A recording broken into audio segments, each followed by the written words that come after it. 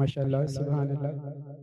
نبی کریم صلی اللہ علیہ وسلم کی بیست کے وقت جو میلاد منایا گیا اس کے علاوہ ہجرت مدینہ کے موقع پر جو اس وقت کے یسرف کی بچیوں نے نبی کریم صلی اللہ علیہ وسلم کی آمد پر گیت گائے اور وہ امر ہو گیا تلال بدر علینا من سنیت الودائی وجبت شکر علینا مادار ہدائی سو نبی کریم صلی اللہ علیہ وسلم سے پیار آپ سے عشق، آپ سے محبت ہمارے ایمان کا حصہ ہے۔ ہم اس کے بغیر دین کے مکمل ہونے کا تصور بھی نہیں کر سکتے۔ تو اس عشق کے، اس پیار کے اظہار کے مختلف انداز ہیں۔ ہر کوئی اس کو اپنے انداز میں ظاہر کرتا ہے۔ کچھ صوفی بزرگ اس کو اپنی صوفیانہ شاعری کے لحاظ سے اس کا ذکر کرتے ہیں۔ کچھ اقبال جیسے فلسفیانہ شاعر فلسفے کی روح سے عشق نبی کا اظہار کرتے ہیں اور پھر کہہ اٹھتے ہیں کہ لوح بھی تو قلم بھی تو تیرا وجود الکتاب گنبد آبگی نرم تیرے محیط میں ہوا۔ اور شوق تیرا اگر نہ ہو میری نماز کا امام میرا قیام بھی حجاب میرا سجود بھی حجاب۔ السلام علیکم ورحمۃ اللہ وبرکاتہ۔ صلى الله عليك يا يا رسول الله.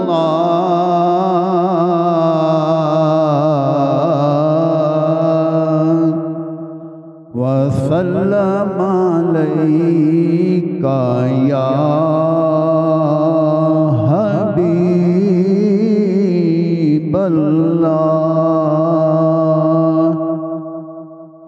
بات یوں ہے کہ ہمارے خیال میں درود پاک سب سے بڑی نعت ہوتی ہے۔ تو نعت اشعار میں بھی ہوتی ہے، نثر میں بھی ہوتی ہے۔ تو آج ہم بات نثر میں کریں۔ آج ہم بات نثر میں قرآن مقدس میں رسول اکرم نبی معظم صلی اللہ علیہ وسلم کے حوالے سے فرمایا گیا کہ وما ارسلناک الا رحمت للعالمین کہ محبوب، ہم نے آپ کو تمام جہانوں کے وہ کتنے جہان ہیں ہم نہیں جانتے، لیکن اللہ رب العزت کیا فرما رہا ہے کہ تمام جہانوں کے لیے رحمت بنا کے دیتا ہے۔ تو اس کا جو نقطہ، مرکزی نقطہ، وہ زمین، اور پھر نبی جہاں بھی مبعوث ہوتا ہے، نبی جہاں بھی مبعوث ہوتا ہے، اس کے پہلے مخاطبین وہ ارد گرد کے لوگ ہوتے ہیں۔ اس کا قبیلہ، اس کے ارد گرد۔ پھر اس مرکز سے دعوت آگے پھیلتی ہے۔ تو جو مسائل اس وقت اس علاقے میں ہوتے ہیں، سب سے پہلے بات ان کی ہوتی ہے۔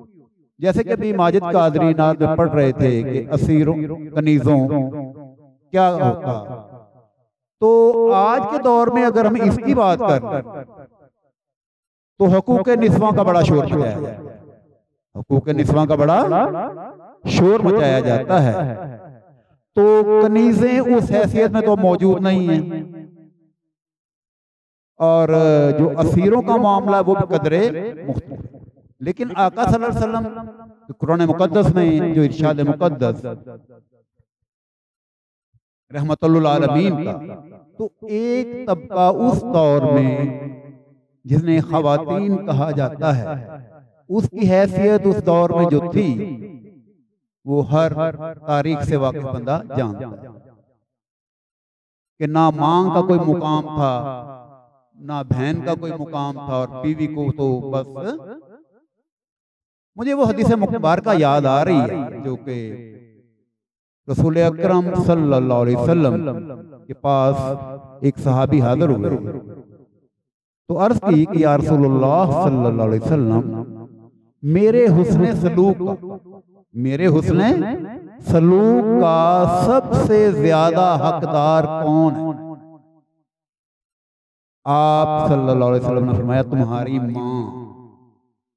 تمہاری ماں۔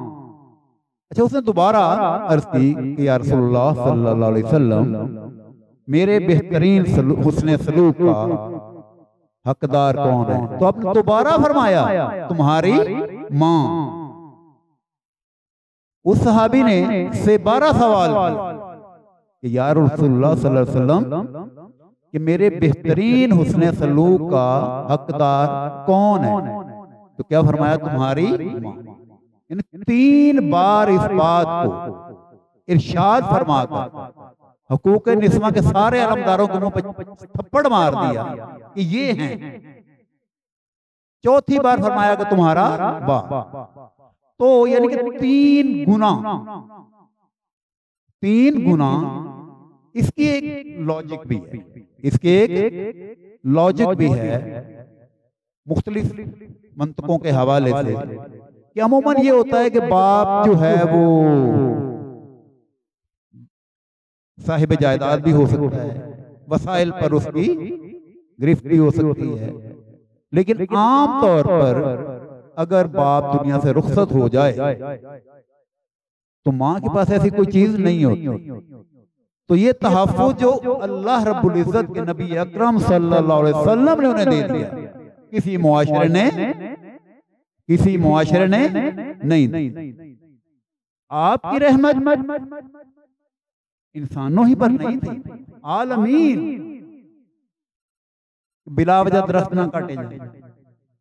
آج جناب ہم ماحولیات کے جو ماہرین ہیں کہ یہ درختوں کی کٹائی کی وجہ سے اوزون جو ہے وہ اس میں سورا ہو گیا اور یہ ماحولیات میں جو چینجنگ آ رہی ہے، اس کی ایک وجہ تو یہ کب ارشاد فرما دیا گیا؟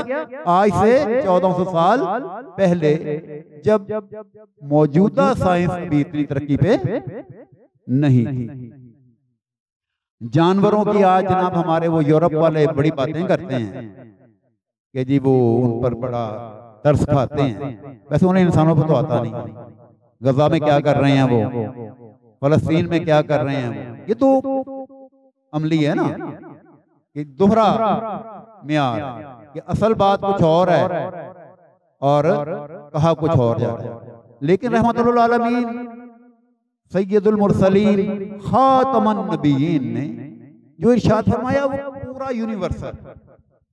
اب کہ حقوق العباد کے بارے میں فرمایا کہ اللہ رب العزت اپنی رحمت سے، اپنے کرم سے حقوق اللہ معاف کر سکتے ہیں، کر دیں گے، کرتے ہیں۔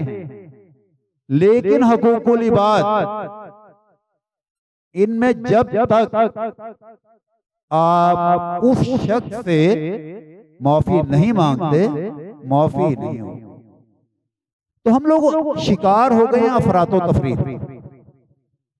ہم لوگ شکار ہو گئے ہیں افراد و تفریح کہ جو بنیادی مقاصد تھے، ان پر ہماری توجہ ان پر ہماری توجہ نہیں۔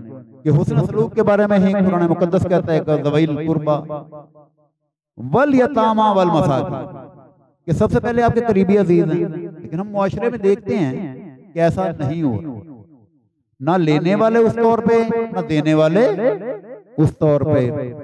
کہ کچھ این جی اوز بنا لیتے ہیں، کچھ یہ کرتے ہیں، وہ کرتے ہیں، لیکن اب ان کے اپنے جو ذاتی قریبی، ان کے حقوق کا خیال نہیں کیا جاتا۔